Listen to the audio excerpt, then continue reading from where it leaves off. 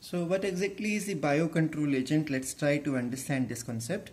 We all know agricultural activities. So there are so many steps in the agricultural activities like there is sowing, there is reaping, even uh, irrigation time, harvesting time, storage time. So uh, every time agricultural activities are going on, there are problems that the agricultural activities are always threatened by pathogens and pests. Now these are two different words. Pathogens are disease causing organisms and pests are something like insects rodents or rats. So those things which happen to spoil the crop are called as pests and those that develop infection in the crop plants are called as pathogens. And uh, to be uh, more precise both of them are uh, go finally going to affect uh, adversely the uh, crop. That's why both of them are bad for the agricultural activities. So uh, all the agricultural activities depend up, uh, depend upon these steps and these steps are always threatened by pathogens and pests. So that's why from the beginning the custom or the system in this uh, in the country is in the agricultural activities that we try to kill or remove these pathogens and pests. So initially there was a, a, lot of chemicals synthesized in the industries for agricultural activities and those chemicals are called as pesticides. Now uh, pest uh, pest or you can even say the pathogenocides because they are going to kill even the pathogens also. So these chemical pesticides they have uh, good uh, good points also. For example they are fast in the mode of action so the farmer do not have to spend a lot of time removing each and every pest from the uh, crop plants. So just spray these chemicals or sprinkle these chemicals and all the insects are going to die or all the pests and pathogens are going to die.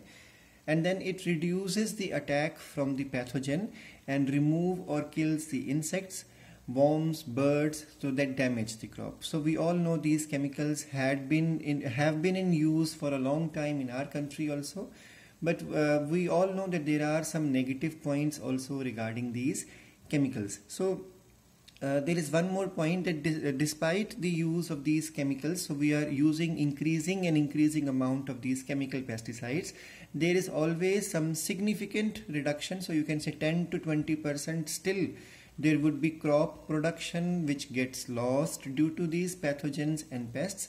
And reason is it's something it is something like we all use uh, mosquito repellent uh, things at home like Mortein is there uh, and we all know every year they bring up new ads uh, that now Mortein is three times more stronger. Reason mosquitoes are developing resistance against them. So in the same manner because these chemical pesticides are used on a large scale throughout the country so these pathogens and pests they are developing resistance against these chemicals and then another bad point is that these chemicals are toxic and they can easily enter into the food chain. And as they enter the food chain your 10th class topic of biomagnification if you remember the DDT example was in the uh, help books of 10th class.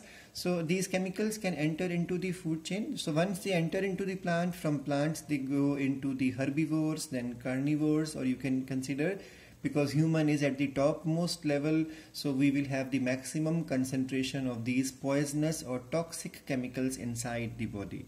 So this uh, uh has more uh, negative points. For example it kills even the harmless as well as useful organisms also because obviously if some some chemical is intervening with the respiration or uh, uh, or the process of uh, gene expression because these chemicals are bad so obviously they will go they are going to harm the good insects also birds also and it finally it also uh, harm the human being. And then it also pollutes the soil as well as water so therefore instead of eradication complete removal of pests and pathogen by the use of chemical uh, to be more precise harmful chemical it is better to use biocontrol agents. Now, uh, biocontrol agents do not completely kill these microorganisms or do not completely remove them from the ecosystem. Instead, these biocontrol agents will keep them in a manageable number by following a system of checks and balances in the ecosystem. So let me repeat.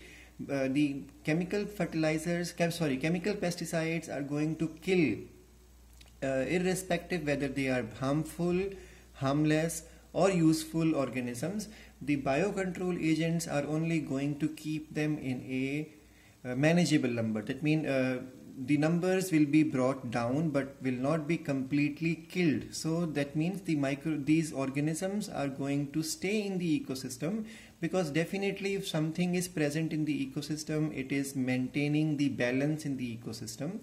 Because if you remember your 10th class topic of food chain and food web the more complex the food web is, more stable is the ecosystem. So if you start removing these insects, because from our point of view, these insects are bad, but from the ecosystem point of view, they are an important part of some food chain. So if they are removed from the food chain, the chains are going to become um, imbalanced and definitely this will cause problem in the ecosystem. So an organic farmer knows very well that eradication of any organism regardless it is whether it is harmful harmless or useful is wrong. So it is not good to remove these organisms completely as without them what will happen? Those which depend upon them in their food chain. So there are organisms which depends upon them. They are called as predators and parasites. They will also die because those insects are going to be a food for them. Thus this disturbs the whole ecosystem